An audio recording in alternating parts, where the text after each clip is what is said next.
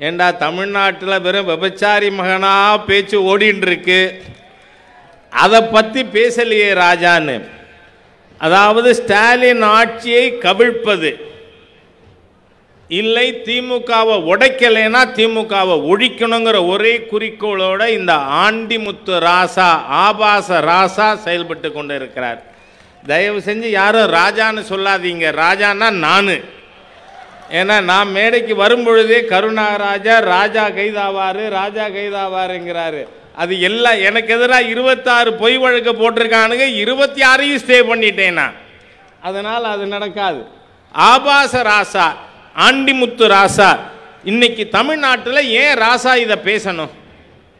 யோசிச்சு பார்ப்போம். Let's read in between lines நீங்கள் இன்னைக்கு தமிழக மக்கள் திராவிட முன்னேற்ற கழகத்தினுடைய இந்த செயல்படாத தீய அரசாங்கத்தின் மீது கோபத்தில் இருக்கிறார்கள்.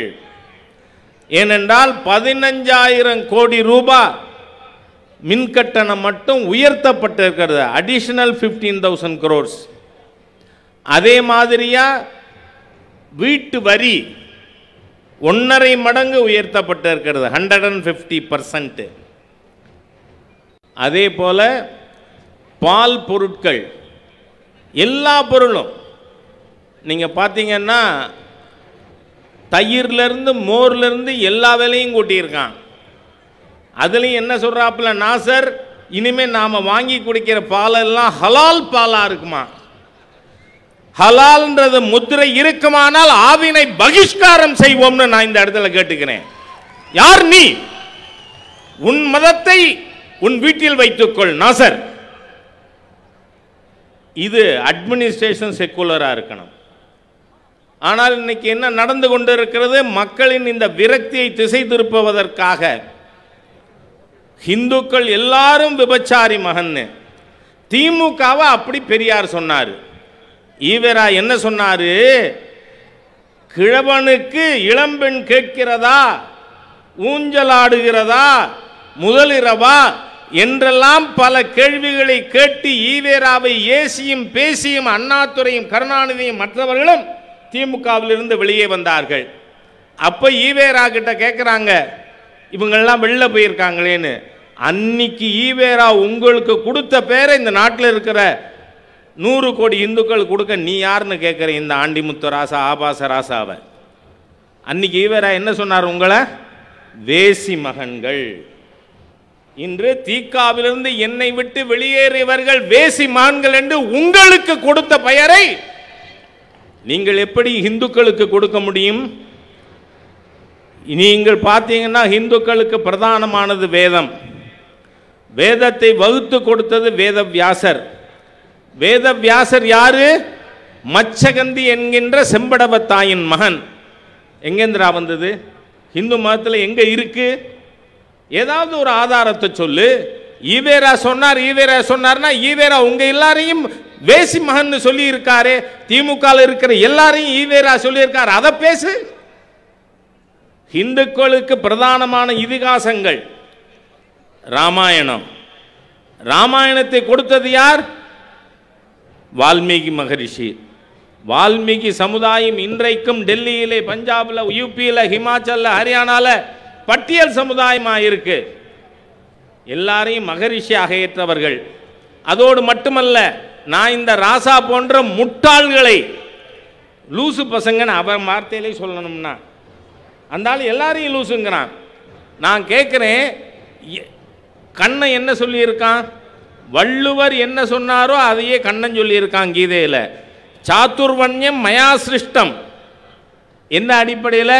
குண குவாலிஃபிகேஷன் கர்மா ஜாப் விபாகசகா. அதையே தான் வள்ளுவர் சொல்றார். பிறப்புக்கும் எல்லா உயிர்க்கும். ஆனால் அது எதில் இல்லை அந்த சிறப்பு? சிறப்புவா செய்தொழில் வேற்றுமையான். அதனால தான் டாக்டர் நாகசாமி அவர்கள் எழுதினார் Thirukkural is the abridgement of shastras சரி நான் கேட்குறேன் ஆண்டிமுத்து ராசா கண்ணன் என்ன சொன்னார் கீதையில்? சாத்துர்வண்யம் மயா சிருஷ்டம். நாலு வர்ணம் தானே சொன்னார். நீ பஞ்சமர்னு பேசுறிய பஞ்சமருங்கிறது யார் சொன்னது? எவன் சொன்னான் பதில் வேண்டும். எங்காவது இந்து தர்மத்திலே தீண்டாமை என்பது யாரை வைத்து நீங்கள் பேசுகிறீர்கள்? பஞ்சமர்னு ஆனால் அந்த இடத்துல தான் முரசொலி இருக்கு. அதனால தான் அதுக்கு மூலப்பத்திரம் கொடுக்க மாட்டேங்கிறானுங்க. அப்போ பஞ்சமருங்கிறது ஏண்டா முத நாள் ஏற்றுக்க மாட்டேன்னா அஞ்சாவது பஞ்சமர்னு எப்படி வந்தது? கொண்டு வந்தது யார்? அப்படின்னா என்ன அர்த்தம்? ஹிந்து மதத்திலே தீண்டாமை இல்லைன்னு அர்த்தம். ஆகவே நீங்கள் கண்ணன் சொன்னதும் சரி. அதுக்கு முன்னாடி டாக்டர் அம்பேத்கர் ஒரு புக் எழுதியிருக்கிறார் ஹூயி சூத்ரா? சூத்திரன் என்பவன் யாருன்னு? ரிக்வேத காலத்தில் மூணு வர்ணம் தான் இருந்தது. நான் சொல்லலை. டாக்டர் அம்பேத்கர் சொல்றாரு. எப்பொழுது அப்போ விவசாயம் என்பது எல்லா வர்ணத்திற்கும் பொதுவாக இருந்தது. அது தனியாக பிரிக்கப்பட்ட பிறகுதான் நான்காவது வர்ணம் வருகிறது. நான்காவது வர்ணம் கலி கலியுகம் துவங்குவதற்கு முன்னாடியே ஜஸ்ட் பிஃபோர் துவாபர யுகத்தினுடைய கடைசியில். ஆகவே சாத்திரங்கள் இருக்கிறது. இந்த நாட்டின் நூறு கோடி மக்களை மாதிரி பேசிய திராவிட முன்னேற்ற கழகம் தேர்தல் வந்தா தேர்தலில் கோட்டுக்கு மேலே புனல் போட்டுட்டு கவுல் பிராமணன் சொல்றாரு. ராகுல் காந்தி எங்கடான்னு கேட்கிறேன் நான் இப்ப. எங்கே? காங்கிரஸுக்கும் திமுகவுக்கும் வித்தியாசம் கிடையாது. ஆகவே இந்த தீய சக்திகளை நாம் வேரோடும் வேரடி மண்ணோடும் தமிழக மண்ணிலிருந்து கலைந்தெறிவதற்கு சிவகங்கையிலே முதல் அஸ்திவாரம் போடப்பட்டிருக்கிறது என்பதை தெரிவித்து என்னுடைய வார்த்தைகளை நிறைவு செய்கிறேன். வணக்கம்.